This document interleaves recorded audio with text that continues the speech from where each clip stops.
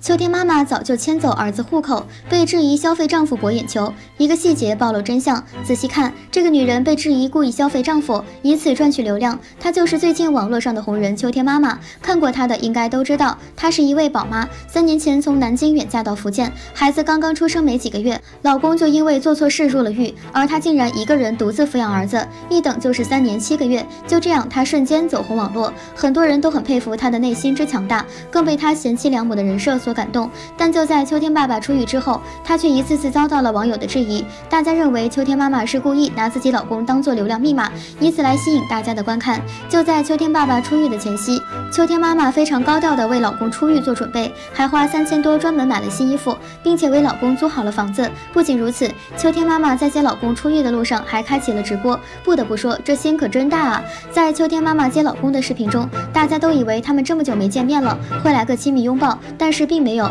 两人表现得非常生疏，而且秋天妈妈也没有和秋天爸爸住在一起。网友纷纷猜测，是不是感情不在了？但也有网友表示可以理解，毕竟那么久没见面了，还是要慢慢来的。不过秋天妈妈为何在丈夫出狱后，让她故意在众人面前揭伤疤呢？老公不要面子的吗？但其实这样做也是有原因的。